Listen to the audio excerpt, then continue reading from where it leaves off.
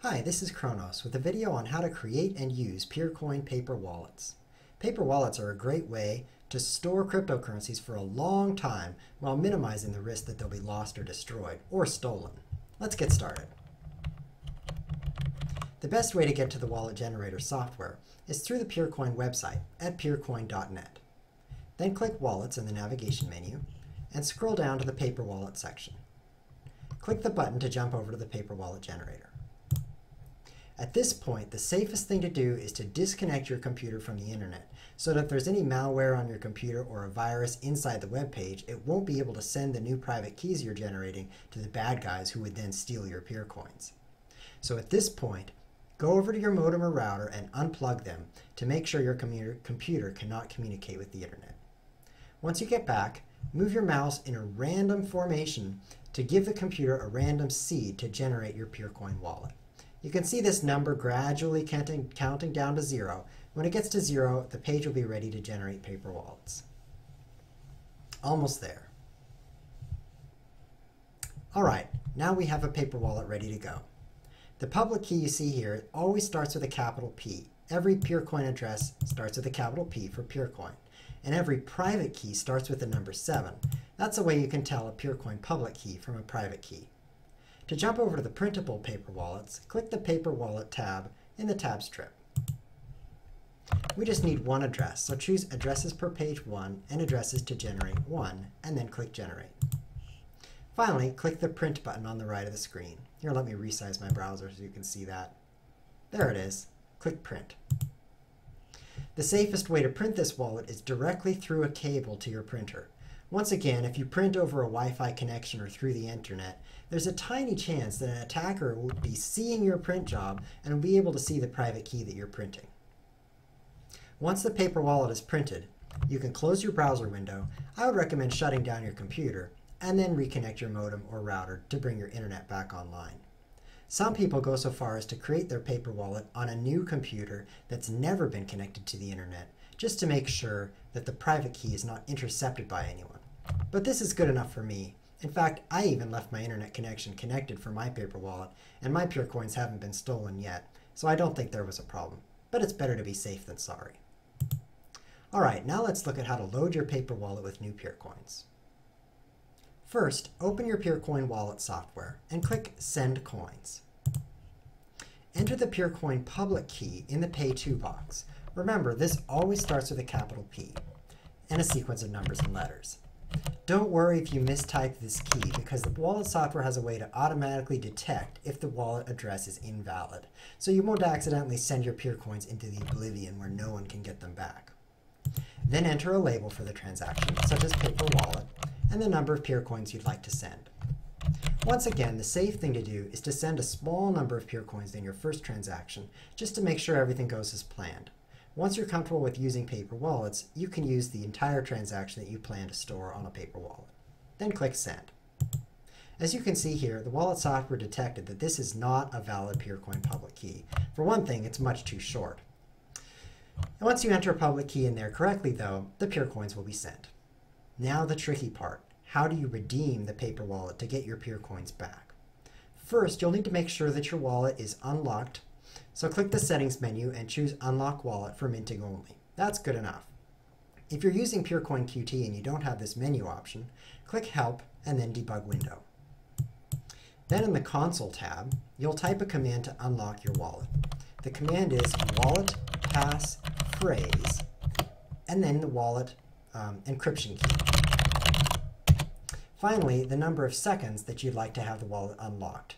999 seconds ought to be long enough. What is that? 16, 17 minutes, something like that? And then press enter. This has unlocked my wallet so that I can import the private key. If your wallet's not unlocked, you don't even need to do this command at all. But the next step to import your, your private key, you'll still need to do in this console window. The command to import the private key so you can spend the Peer coins on a wallet is import priv key. Priv is short for private, obviously. So type import priv key, and then space, and then the private key you'd like to import. You'll have to type this in directly off of the paper wallet that you have in front of you, so it'll take a little while to type that in. Don't worry, once again, if you type it in wrong, nothing will happen, but your Peercoins won't be imported. I'm going to take the shortcut and jump back over to the website and copy the private key off of this paper wallet. Because look at that, I can copy horizontal text. Watch this. Are you ready? This is going to be pretty fancy. Here we go. Selecting horizontal text. Not everyone can do this, but Chronos can do it. Copy. Oh, a copy image? Is that not going to work? Control C, that might copy it.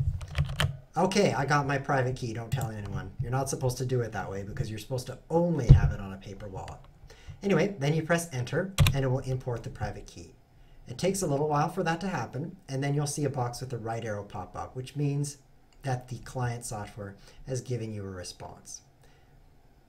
This is going to take a moment more while it crunches the numbers to import the key. And then it's done. Now when you click Receive Coins, you'll see that address in your wallet. Let's see, where is it? What, what was my public key again? My public key started PEK. So if I jump back to my wallet software and click Receive Coins, you can see PEK in a receivable address. That means that the public and private keys were imported to the wallet. Now, if there were any Peercoins in that paper wallet, they would have automatically been added to my balance.